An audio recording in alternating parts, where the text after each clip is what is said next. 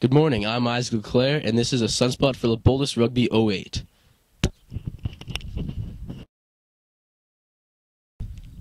I'm here with the rugby star, Patrick Young. Patrick, what position do you play on this rugby squad? Well, I play a couple different positions. We got a, a good group of guys this year, I'm playing kind of half fly half, half fullback. So that's the uh, the first of the backs. There's forwards and backs in rugby, and then the fly half. That's what that is. And the fullback is the guy who stands at the back, kind of like a safety in football.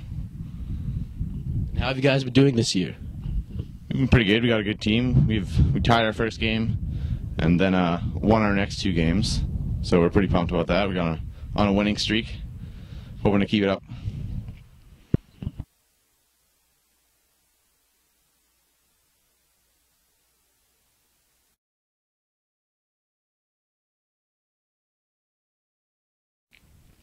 I'm here with little Keisha Ponsavalli of the girls rugby team.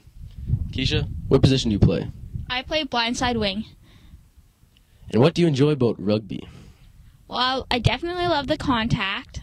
Um, practices are alright.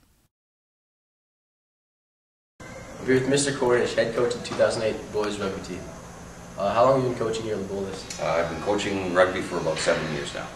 What position do you play when you were a younger guy? Uh, I played in the backs, uh, fly half, centers, wing.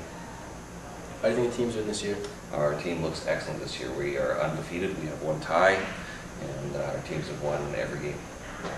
And one final question. Mhm. How long did it take to grow that beautiful mustache? Uh, about two days. Oh, two days.